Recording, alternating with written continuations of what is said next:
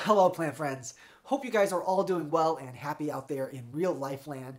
In this episode, we are going to talk about what we all need to do for winter, winter preparation for our indoor plants. So I know that there are a lot of videos out there on YouTube about, oh, you know, doing this or that, more of this or less of that. I think that a lot of the reasons why we have to do some of the things we do is not so much because the plant or our plants sort of change, but it's actually because our environment changes between the warmer months and the colder months um, for most of us in the world. So, as most of you who follow this channel know, I'm in Los Angeles. So, during the warmer months, I have my windows open, I have my ceiling fans on. During the colder months, right, the the windows are closed, the fans aren't on, and um, the air conditioning or whatever breezes we were getting turns into you know, heating, right? A lot of us have our heaters on during the colder months. So, so there are big, significant environmental changes um, in our home environment. And we're not even talking about, um, sure, you know, seasonal changes and sure, you know, the daylight hours are different. We're just talking about the indoor home environment, uh, significant changes. Uh, and of course, our indoor plants are right here indoors with us. So actually, I think that a lot of the changes that we need to do during the wintertime is predominantly because of our indoor environment. So the first thing that a lot of people talk about or think about is watering, right? So everyone will tell you to water less, and I definitely agree with that. The question is that do we water less frequently or do we water less amount wise every single time we water? And I think the answer to this um, comes when we think about why do we have to water less at all? I think a lot of people are under the assumption that the plants go, you know, very, very dormant um, and less active during the winter months, which is which is true, I think, for the for, for some part. And because they're less active, they're sucking less or using less water out of their pot. But when you water you know soil or a pot and then over time that pot um, the soil becomes dry and you need to water again is most of that water going into the plant? I, I really don't think it is. Most of that water is either retained or i guess disappears um, usually it's because of the soil composition or the pot itself.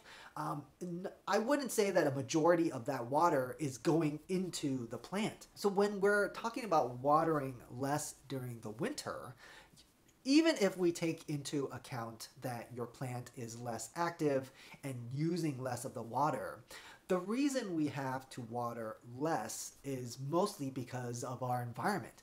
And I think that the, the biggest reason is because there's a huge change in air circulation right? Remember when I talked about the the summer months when my windows are just like wide open, my fan is is you know on, um, and it's like I have a lot of air circulation around my plants, around the pots, um, and that air circulation is helping getting rid of that water. Once winter comes and I close all my windows, I don't have my fan on, there's less air circulation. So there's so the water just retains there in the pot for a longer period of time. So when we're talking about watering less during the winter, I highly advise watering less frequently. Once your windows are closed and um, you know there's a change in the air circulation, one is that not all your plants in all areas of your house will be affected equally, right? Some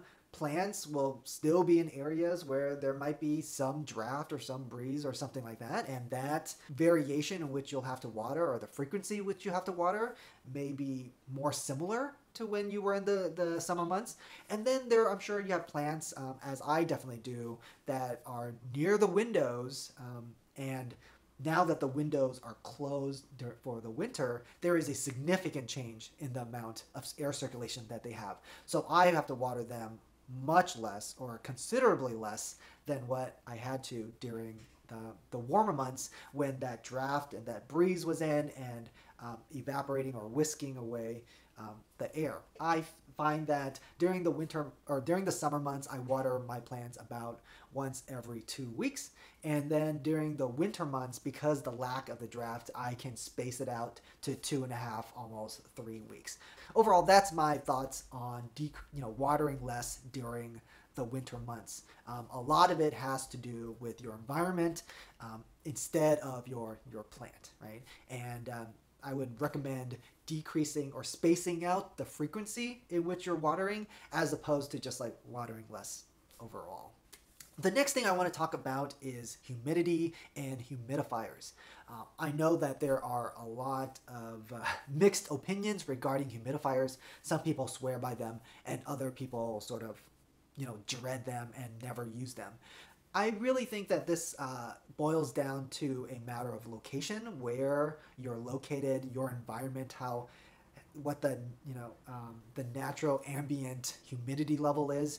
You definitely need one, or I would highly recommend one if you have your heater on, right? Like that's that's all I have to say. If during the winter months you use a heater that heat source will dramatically reduce your indoor humidity, right? Like whatever the heat source is from, it will dramatically drop your indoor humidity and use a humidifier to get that humidity back up, right? To just compensate for your heater. So um, that's my uh, that's my tip number two. My tip number two is when we're talking about humidity I would recommend using a humidifier if you use a heater. So the next thing I want to talk about is lighting. Um, yes, during during the summer months, most of us live in places where we get more lighting uh, or more light hours or sunlight hours during the warmer months and less so during the winter months. That said, I also think that a lot of people have supplemental grow lights. I think a lot of people living in, you know, highly congested urban areas, um, small spaces, uh, usually a lot of us don't have that much, uh, you know, windows uh, or natural lighting or at least lighting in, in good directions. A lot of us tend to have, you know, grow lights or supplemental lights anyway.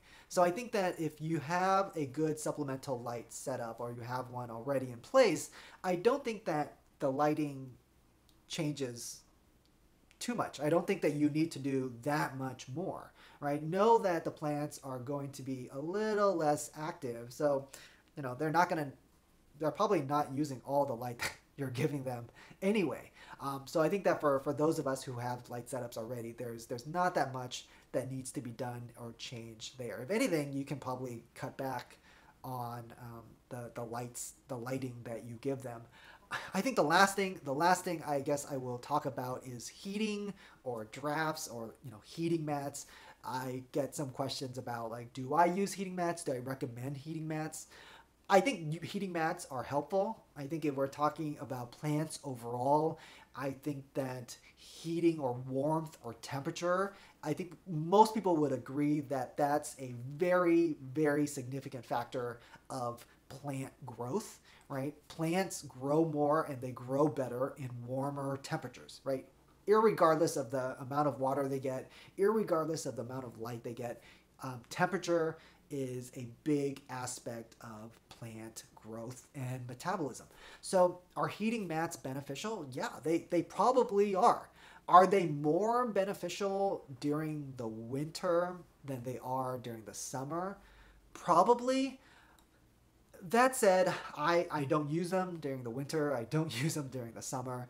I don't think that um, the indoor environment, you know, with the heater on, that the temperature changes enough for me to, you know, bring out or get some heating mats. During the winter, a lot of us will set our um, heaters to a to a temperature that keeps us cozy, right? So so if we're cozy, I feel like that's enough for our plants, right? So if you're in an indoor environment, your plant is with you, you're cozy, you're fine, your plant will likely be fine as well, right, in terms of temperature. What I think about most in terms of winter preparation, winter care, winter changes, it's it's mostly humidity augmentation if you're augmenting the heat in your environment, and then to decrease the water, um, decrease the frequency of watering. And that's not because your plant is using less, that's mostly because um, there are changes in the air circulation, and um, that's a huge, huge component of how um, how much water, uh, how how long the soil stays moist for. Okay, um, all right, I think that's going to be it for this video. Lots of uh, rambling, but I hope you guys found it helpful. Uh, oh, uh, this shirt, this leaf shirt, um, is on my Teespring and also on my Amazon. The links should be in the description or below the video somewhere. Um, yeah, if you like it, then get one and uh, support the channel. Thank you so much. Uh, till next time, guys. Happy planting.